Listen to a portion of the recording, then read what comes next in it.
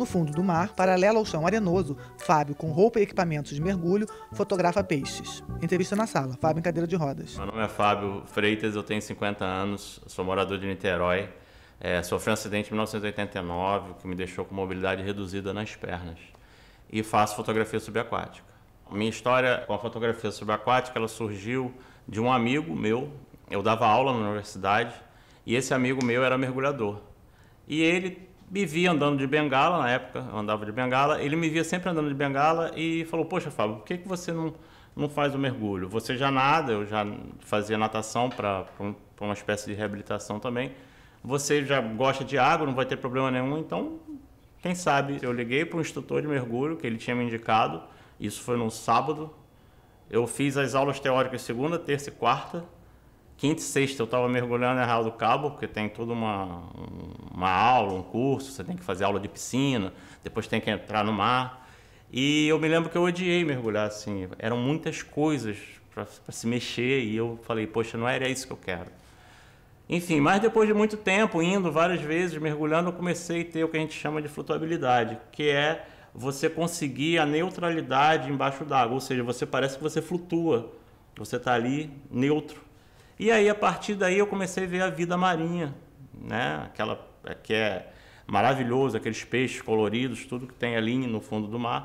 E comecei a me interessar a querer registrar esses seres marinhos naquele momento. Meu mergulho é mais contemplativo, né? É um mergulho que às vezes eu paro para fazer uma foto, às vezes eu demoro 50 minutos para fazer uma foto. Então é um mergulho bem calmo, bem legal. Aí acabei é, começando a participar de torneios é, de fotografia sobre, sobre, sobre. Então eu conquistei é, dois campeonatos brasileiros, conquistei dois campeonatos nacionais de foto sub, o segundo campeonato mais importante do Brasil. O primeiro seria um campeonato é, que você registra as imagens no local e você participa daquele campeonato durante aquele final de semana. Esse é o campeonato mais importante. E tem um outro campeonato é, durante um ano, que é um campeonato que eles selecionam, a gente seleciona as fotos e envia pela internet, mas a foto só pode ser registrada, registro no Brasil. E, e também em 2019 eu conquistei esse, esse campeonato nacional também. E além disso tem é, premiações na Indonésia, eu tenho premiações em Bonaire, que é nas Antilhas Holandesas.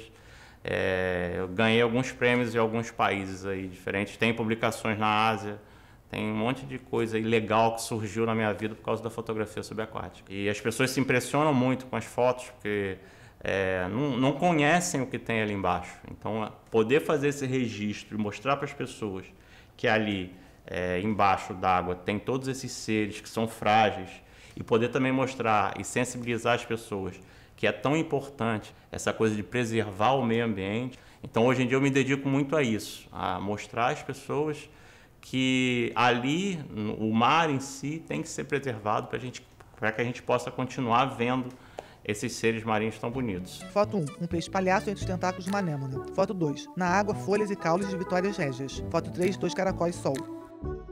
A gente usa uma roupa de mergulho. Segura a roupa. Essa roupa de mergulho ela é de neoprene onde você tem a espessura adequada para a situação é, de conforto é, no fundo do mar. Se a água estiver mais gelada ou mais quente, você vai usar uma roupa mais fina ou mais grossa.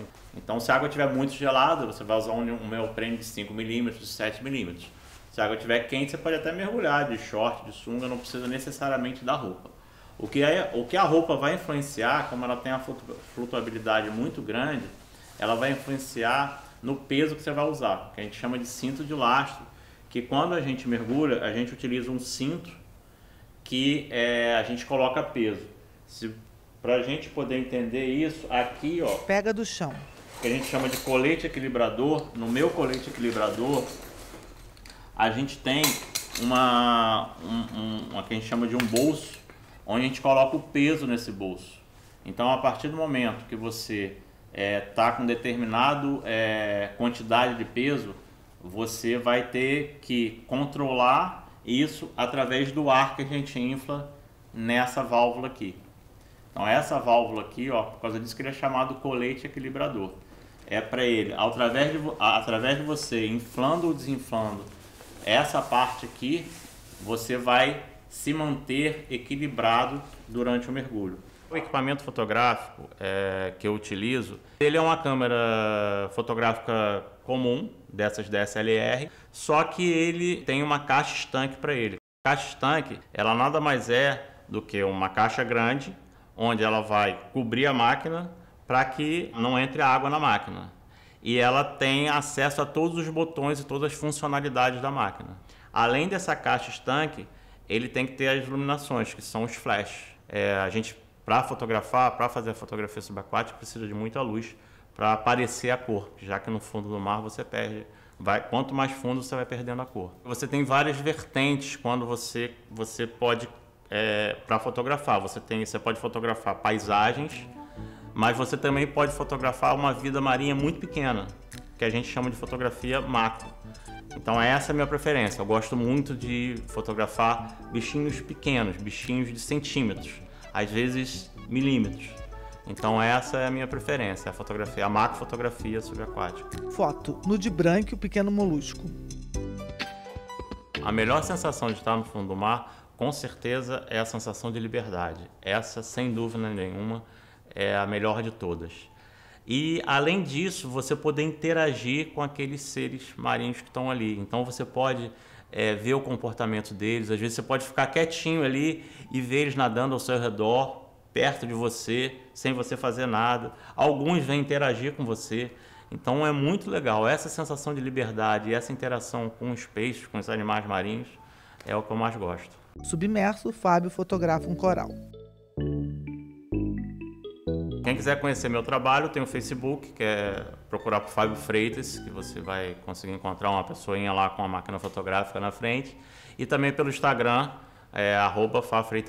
Eu também, aí no Instagram só tem fotografia subaquática. Então é, tem ali todo meu, quase todo o meu portfólio de fotografia subaquática está lá no Instagram.